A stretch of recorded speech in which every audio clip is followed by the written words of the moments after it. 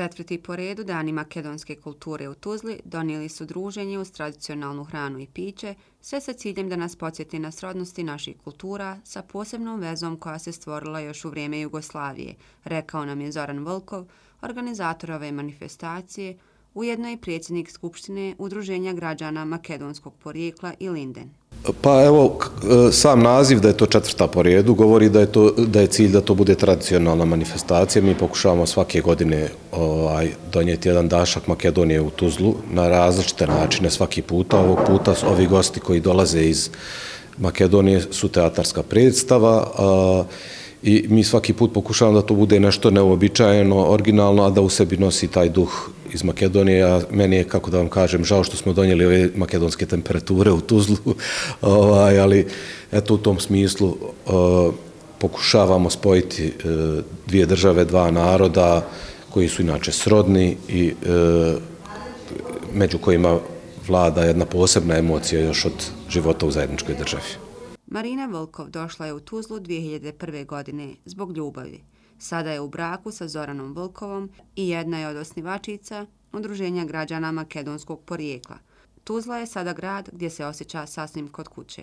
Preko ovih manifestacija ovaj, osjećam se u stvari da nisam sama, zato što pored mojih članova iz udruženja dolaze nam puno ovaj, gosti, ovaj, tuzlaci, ovaj, koji se e, drugih nacija, tako da zajedno podijelim ovaj, i osjećam se ovaj, e, srećno kod da sam među svojima. Ovakve manifestacije su prilike za podsjećanje na sličnosti, ali upoznavanje i cijenjenje različitosti, kazao nam je predstavnik ambasade Republike Sjeverne Makedonije Borče Damjanovski.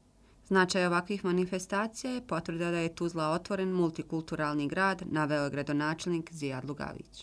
Мене велика чест да будем данас ту, да, да будем дел овог великог лепог настана, дружења, меѓусобно познавање наших граѓана и суграѓа, ваших суграѓана, затоа што ну, знаете како е, кога се више дружимо, кога се боле упознамо и онда лепше живимо. Разумевање, веќе помош и меѓусебна помош е исто така велика.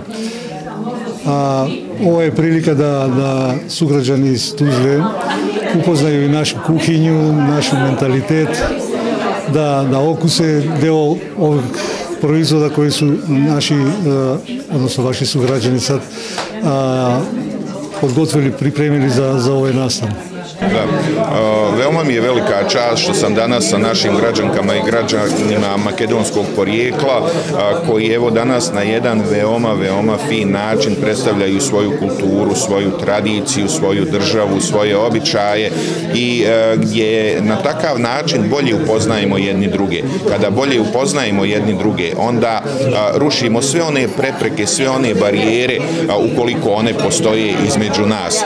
Ovakva promocija, ne samo nacionalnih manjina grada Tuzle, Bosne i Hercegovine, nek svih oni koji žive u našoj državi je veoma bitna i grad Tuzla će uvijek promovisati i podržavati ovakve manifestacije. Marina Volkov je sa ljubavlju pripremila i makedonske specialitete. Obilje i šarenulo mogli bi najobuhvatnije opisati makedonsku tradicionalnu kuhinju, te svima bilo jako teško izvojiti najdraži specijalitet. E, u stvari Makedonija znate da je na jugu, ovaj, to je Balkanska, ali u stvari blizu Mediterana, ovaj, podneblje je takvo, ovaj, e, najviše ovaj, ima E, E, povrća i voća ovaj, i tako da evo sad ćete vidjeti ovaj, za trpezom da a, u stvari najviše preovladava ovaj povrće.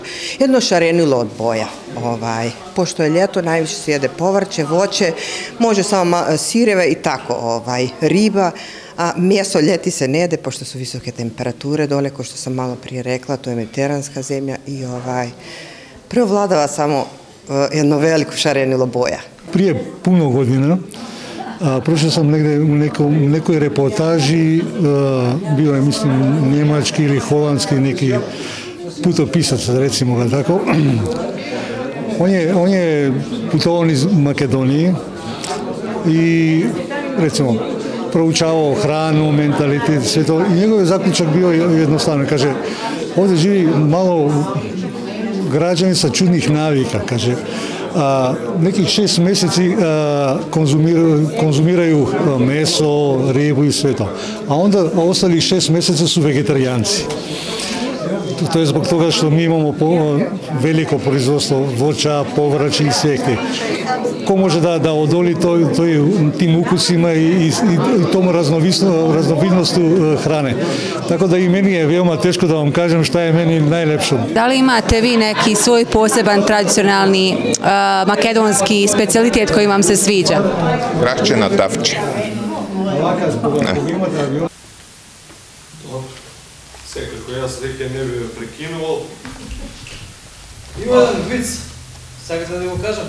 Program dana makedonske kulture obogaćen je i predstavom samoubistvo u odbrani Skopljanskog alternativnog teatra otpisani. Režiser Marijan Angelovski je oduševljen Tuzlom. Od tuzlanske publike očekivao je pozitivne kritike jer predstava govori o univerzalnim temama. Baš je lepo tu u Tuzla, hrana je super, jezero je super, top je baš i ovo ki ne bude prva izbada tu, tu kao Tuzla. Da li očekujete da će se predstava svidjeti tuzlanskoj publici i da li će je razumjeti na kojem je jeziku? на македонски ќе биде, па мислам дека ќе ќе ме разумете, вие ме разумете така. да. А, са, самоубиство, самоодбрани се се вика представа, тоа е црна комедија, абсурдна црна комедија, црни црни хубор. А, представа прича о, о љубови, страху а, и од, од психичка психичко стање у, у, у друштво и, и човека. Druženje, hrana i piće, tradicionalno spremljeni i začinjeni s ponosom i ljubavlju naših sugrađana makedonskog porijekla iz udruženja Ilinden zasigurno su obradovali tuzlanske i strane posjetioce, a predstava sa crnim humorom Skopljanskog alternativnog teatra obogatila je dane pozorišta bez granica u organizaciji Draft teatra Tuzla i upotpunila upoznavanje sa kulturom Makedonije u našem gradu.